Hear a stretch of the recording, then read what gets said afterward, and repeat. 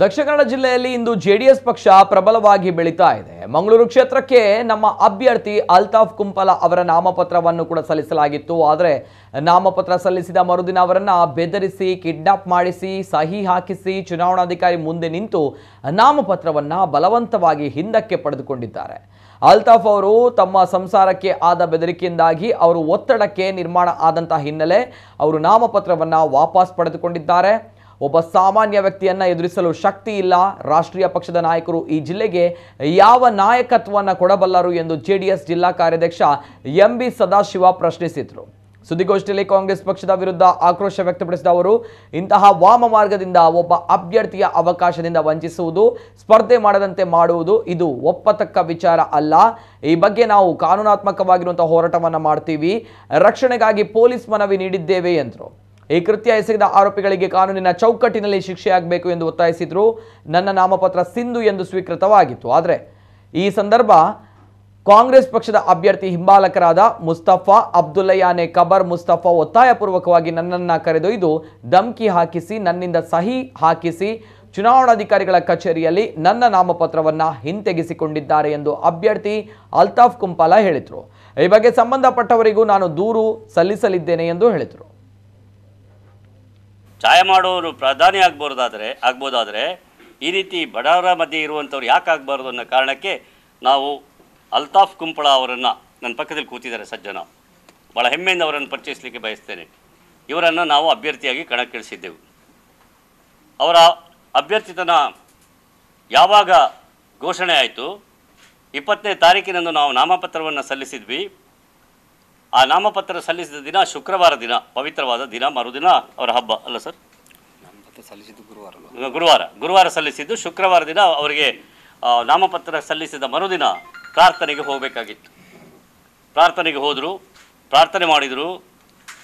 ಎಲ್ಲರ ಪರವಾಗಿ ದುವಾ ಒಂದು ಪ್ರಾರ್ಥನೆಯನ್ನು ಮಾಡಿ ಅವರು ಹೊರಗೆ ಬರಬೇಕಾದ್ರೆ ಅವರನ್ನು ಅಲ್ಲಿಂದ ಬೇರೆಯವರು ಈ ಜಿಲ್ಲೆಯಲ್ಲಿ ಇದುವರೆಗೆ ಆಗದಂಥ ರೀತಿಯಲ್ಲಿ ಅವರನ್ನು ಕರೆದೊಯ್ದರು, ಸಹಿ ಹಾಕಿಸ್ಕೊಂಡ್ರು, ಕರ್ಕೊಂಡು ಬಂದು ಚುನಾವಣಾಧಿಕಾರಿ ಮುಂದೆ ನಿಲ್ಲಿಸಿದರು, ಅವರ ಹಿನ್ನೆಲೆಯಲ್ಲಿ ನಿಂತರು, ಇವರಿಂದ ಅದನ್ನು ಕೊಡಿಸಿದರು.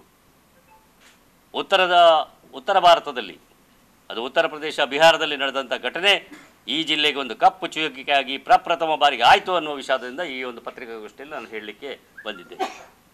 ಅದಾದ ನಂತರ, ಅವ್ರಿಗೆ ಯಾವ ಆಮಿಷವನ್ನು ಒಡ್ಡಿರಲಿಲ್ಲ ಯಾವುದೇ ಆಮಿಷಕ್ಕೆ ಅವರು ಬಲಿಯಾದವರಲ್ಲ.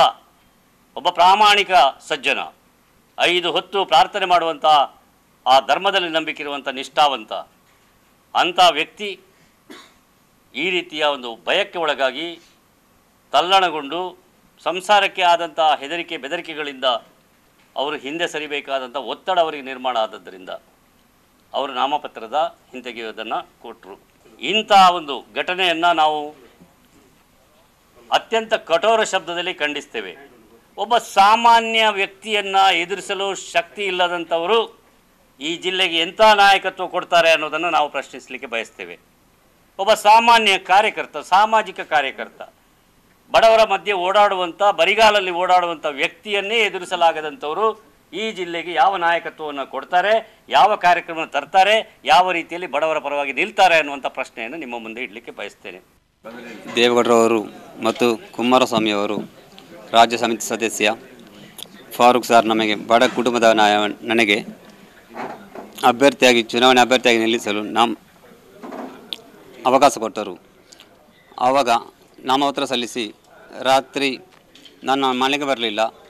ಅವತ್ತು ಒಂದು ಗಂಟೆಗೆ ಮತ್ತು ಎರಡು ಗಂಟೆಗೆ ಮನೆಯವರಿಗೆ ಮನೆ ಬಾಡಿ ಹಾಗೆ ಬಂದು ಬಡಿದು ಅಲ್ತಾಫ್ ಕೇ ಅಲ್ತಾಫ್ ಇದ್ದಾನ ಅಂತ ಕೇಳಿ ಹೆದರಿಕೆ ಕೊಟ್ಟರು. ತಾಯಿ ಮತ್ತು ಪತ್ನಿ ಮಕ್ಕಳು ಹೆದರಿ ಹೆದರಿದ್ದರು. ಮತ್ತು ನನ್ನ ವಾಟ್ಸಪ್ ಓಪನ್ ಮಾಡುವಾಗ ತುಂಬ ಮೆಸೇಜ್ ಉಂಟು. ತುಂಬ ನನಗೆ ಹೆದರಿಕೆ ಆಗುವಂಥ ಮೆಸೇಜ್ ಎಲ್ಲ ಇದೆ.